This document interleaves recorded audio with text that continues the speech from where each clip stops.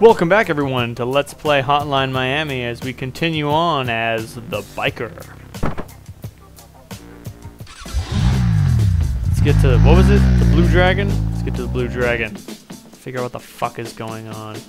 So, in stark contrast to Jacket's playstyle, the biker uh, has got his cleaver and three throwing knives. Damn.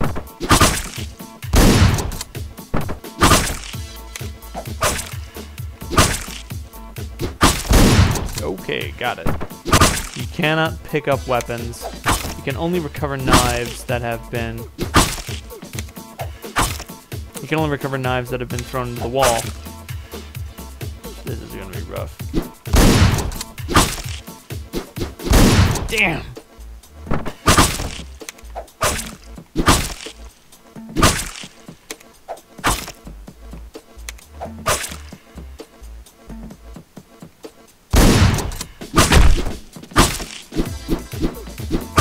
God damn it.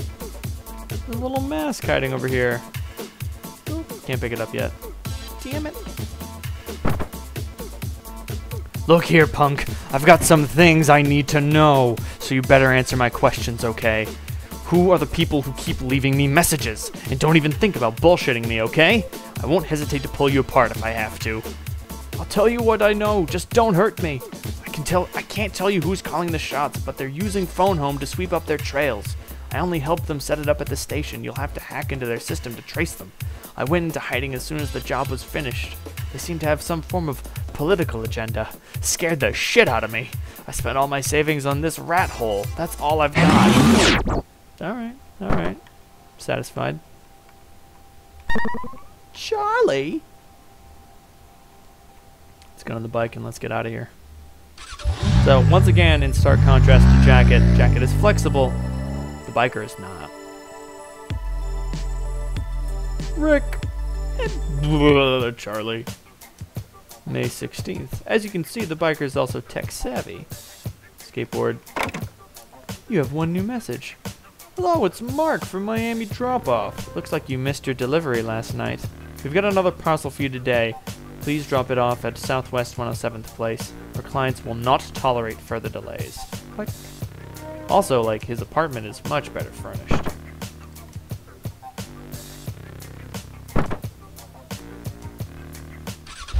Let's get on the bike and do that murder thing.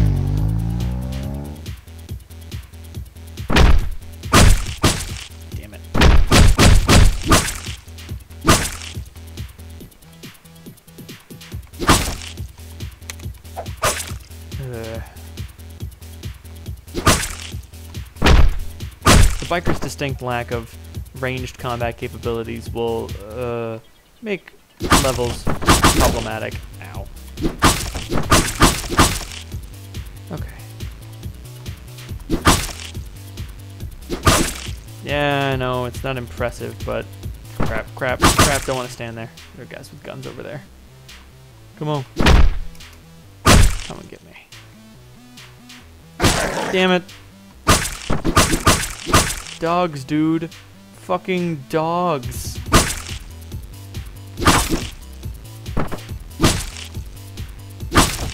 Also, as you can tell, the biker moves fucking fast. Jesus. He's really quick. And that's good. Because he needs to be.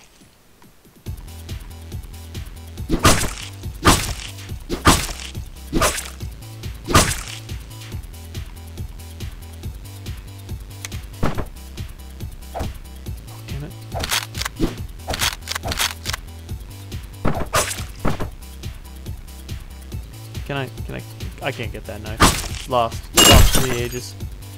Hope I don't need it. Doge. Oh crap. Oh, that worked out in my favor. Nice. Later, man.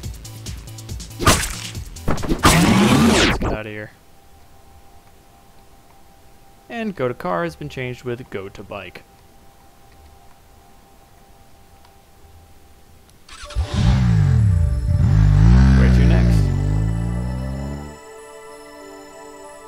That's the thing. Like, Jacket, we don't know a lot about Jacket. Brandon! Sweet. Also, Ja- the biker is much more social than Jacket ever was. He's got a lady over, he's got a guy who's passed out on his couch, remnants of a party. Hi, it's Jane. It was nice to see you again. How about another date tonight? Pick me up around at Northeast 158th Street around 9, okay? And put on one of those nice suits you've got. You're taking me somewhere fancy this evening. Also, you'll note that uh, the biker doesn't wear the masks. He's got a prank call. He's got a he's got a motorcycle helmet and he's willing to wear it. What's up? Welcome to the phone home building. Look familiar? Out of my way.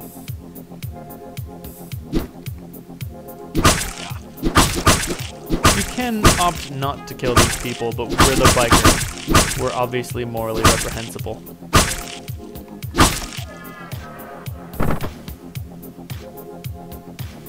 Stay away from me. Security. Security. Look, sir, please don't kill me. Please, I'll do anything. Don't care. I'm busy.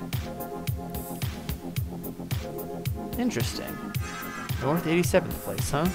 So that's where you've been hiding. Oh. Hey. It's Jacket. Get out of here if you don't want to die. Fine, have it your way. You had your chance. Jacket's been dealt with. Just as mortal as anyone else. Gotta break the glass. Later, Jacket. Ugh. Gotta say, feels really weird killing Jacket. Just, you know, I've played with, I've played as him for 16 chapters. We're tight, we're close. Hi, it's Ben from Miami Funeral Parlor. I'm just calling to tell you we have the tombstone you ordered done and ready to be delivered. With a little luck, you should be getting it before the weekend. Beep. Not the biker cares. He knows where these guys live. Resolution. What the? That smirking janitor. No. Alright, let me let me fuck with this computer here. What's this? Looks like I need a password to access this computer. Fuck. You're kidding me.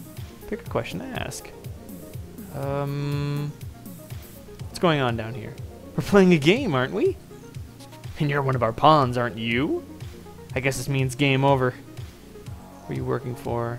You're the phone guys? Um, who are you working for? No one! We're independent. We did it all ourselves. Hard to believe, isn't it? Why are you doing this? We were bored. That's why. Why would we need to justify our actions? You've done far worse things than we have, haven't you? Besides, do you know how much money we're making? We haven't killed anyone. You have. They were all scum anyway, weren't they? You think they deserve to live, do you? That's it? you seem disappointed. What were you expecting? I think we're through with your questions. Yeah, your move, creep. Uh, so these guys are supposed to represent uh, Jonatan Söderström and uh, Dennis Wedin, the guys who made the game. Uh, as such, I will murder them for wasting my goddamn time. Let's get the fuck out of here. So that's that. That's Hotline Miami. These are the answers that we wanted. These are the answers we came for. Let's get out of here. But wait, it's not over yet. Louis. No, no, no.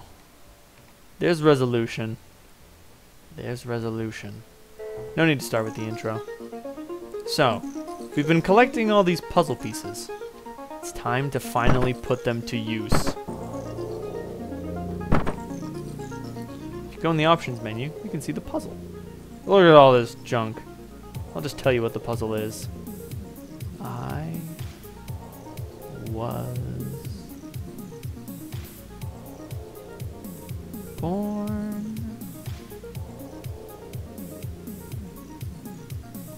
I'm just so scared that I'm gonna like run out of letters and I didn't actually pick them all up. U S A. Let's try using the computer now. What's this? Looks like I need a password. Let's try something. Ah, there we go. I see. So that's your game, huh? What is it? Don't leave me in suspense here, biker. So this is your base of operations, huh? Infiltrating the enemy. How clever of you. You're the asshole from Phone Home last night. What do you want? I looked through your computer upstairs, and I thought we should have a little talk about your line of work. You don't know shit. Our system's password protected. No one knows the password but the two of us. I was born in the USA. How the hell did you figure that out? As you'll notice, they're not smirking anymore. They're dead fucking serious. Let's just say I used a little magic. So let me get this straight. You're nationalist scumbags. You threaten your members into doing your dirty work, and this whole thing is a two-man operation? You could say that, that we like to call ourselves patriots. We volunteered to conduct this little experiment by ourselves. But I can assure you we're just the tip of the iceberg. We're setting up operations all over the country. How'd you come up with this crazy scheme? Crazy? What you need to realize is that all you gotta do to get people to do what you want them to is to make them think there will be a consequence if they don't. It's a principle our whole society is built upon. So it's okay to threaten people into killing each other. Wake up, man. Don't you see this is a country at war? 50 Blessings is a foundation for patriots. Our members must fill out a form in which they state that they're willing to die for the sake of our nation. You might remember this. You remember too, right? And you expect me to topple the Russo-American coalition using methods like this? Oh, don't you worry about that. We'll have this country back on its feet soon enough. Give us five years and you'll see what we're capable of. This is just the first step. You'll understand in time. We've got, we've got some very powerful people on our side.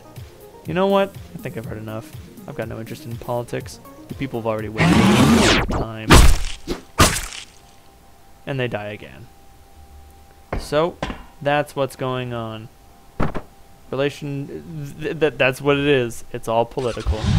Relations between Russia and America in this in this in this version of Earth are stretched stretched to the limits, stretched thin, very very dangerous. As such, um, there are those who would prefer that open war would be going on, and these janitors are part of an organization devoted to that. As such, they just threatened people into doing what they wanted them to, and as soon as one person started doing it, they had a hitman to kill anyone who didn't get in on it. So, yeah. Unfortunately, we killed this guy earlier in the game. Uh, the the the the canon in which Jacket defeats the biker is is is the canon they go with into the second game. So as such, the madness is still going on. The janitors are still alive, and no one knows no one knows anything about the malicious nature of 50 blessings whatsoever because we fucking killed this asshole.